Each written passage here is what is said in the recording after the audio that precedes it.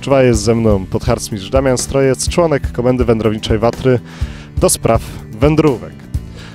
Do ruchu Damianie, ile mieliśmy wędrówek, no i gdzie one się odbywały? Założenie na samym początku mieliśmy mieć 13 wędrówek. Ostatecznie udało nam się zorganizować 12 wędrówek. E, Trzy wędrówki mieliśmy górskie w terenie Beskidów. E, Pozostałe były na terenie wyżyn bądź nizin. Głównie skoncentrowaliśmy się na południu, na południu Polski, ze względu na to, że mamy tutaj w pobliżu Kielce, więc e, w tej okolicy tutaj też parę wędrówek nam się udało zorganizować. A jak było z organizatorami tras? E, Czy to były drużyny, czy to były kręgi instruktorskie, czy to byli tak zwani lokalsi, czy może coś innego? E, Tak naprawdę mieliśmy, mm, bardzo, tak, tak jak zróżnicowanie terenu i zróżnicowanie miejsc, gdzie były te wędrówki, tak samo mieliśmy zróżnicowanie środowisk, które organizowały to. Czyli to były mm, tak zwany zlepek ludzi z różnych chówców, instruktorów, ale też były to patrole, które podejmują również e, wyzwania i, i realizują też program tutaj na, na, naszej, na naszym zlocie. A jakie cele były postawione wobec organizatorów? e, Jakie wymagania były właściwie postawione wobec organizatorów wędrówek? Czy mieli osiągnąć jakiś określony cel? E, Czy to miało być tylko organizacja noclegu i przejścia dla uczestników?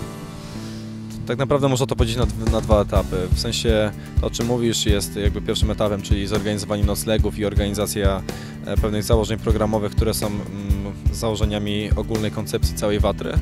Natomiast tak naprawdę moim, moim zdaniem największym pięknem w całej organizacji wędrówek jest to, że każde środowisko dokłada coś od siebie i nie jest to szablonowe, nie jest to sztampowe i każdy ma tak naprawdę swój wkład. Natomiast moja rola była tylko, mm, aby to koordynować i mniej więcej e, scalić z tym, jakie mieliśmy ogólne, e, ogólną koncepcję całej Watry. Tutaj warto też wspomnieć, że e, sam robiłeś wędrówkę, więc może jakieś doświadczenia, jakieś wspomnienia albo w ogóle ogólne wrażenie z Twojej własnej wędrówki.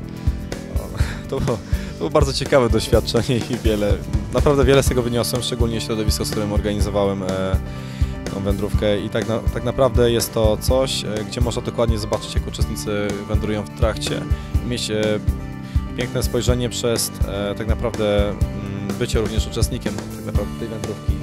Bo w gruncie rzeczy ja osobiście wędrowałem po prostu z ludźmi, z którymi byłem na trasie i wydaje mi się, że to jest bardzo dobry sposób na spędzanie i poznanie wszystkich, którzy, którzy są, dla których robimy ten program i cała koncepcja Watry. Czy Watra mogłaby się odbyć bez wędrówek? Oczywiście, że nie. Wędrówki są już za nami, druh Damian doskonale wywiązał się ze swojego zadania, ale reszta, zlot trwa nadal. Mamy nadzieję, że do końca wszystko uda się tak dobrze jak wędrówki. Ja tymczasem dziękuję druhu Damianie Ja również bardzo i dziękuję. czuwaj. Czuwaj.